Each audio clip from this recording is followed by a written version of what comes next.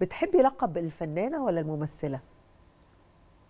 الممثلة. الممثلة. آه طبعا. عشان دايما بحس اللي بيعمل أدوار كتير فيها مجهود وفيها تعب ما بيفرقش معاه النجمة أو الفنانة الممثلة. آه طبعا. لأن هو هو ده طبعاً. دي الشغلانة. أيوه هي دي الشغل هي دي المهنة. مم. هي على فكرة التمثيل دي مهنة مهنة وموهبة. أيوه. يعني موهبة اولا من ربنا سبحانه وتعالى وبعدين بتبقى مهنة. أيوه. ففكرة ال- الفنان والنجم وال... لأن الممثل ده هو الصعب. بحس آه بحسها يعني للشو للترند زي ما بيقولوا. أيوة. لكن آه، وفي كتير جدا من النجوم مع احترامي ليهم مش ممثلين. أيوه.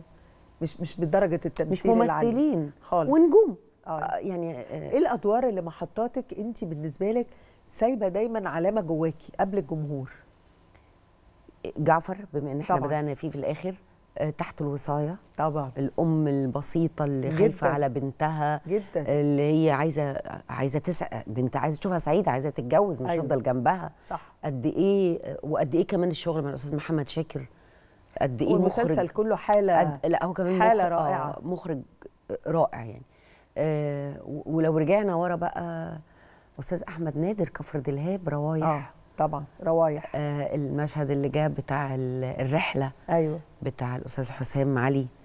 آه وفي بابا المجال أستاذ أحمد خالد موسى. أيوه. يعني أنا ربنا كرمني بمجموعة مخرجين يا رب ما كنتش نسيت حد لأني بحبهم ليه كلهم. حصل الجدل عليكي في رمضان وقالوا لا هي مش كبيرة كده دي طلعت صغيرة. آه. الجدل ده جه منين؟ الأستاذ محمد سامي فاجئني زي آه. ما فاجئ الجمهور كله بأنه بدل ما يعمل ميك أب أو يجيب آه، آه، آه، حد تاني يعني اللي هو دوبلير ليا لا جاب برنامج بيستخدم في هوليوود إنه يصغرني. آه.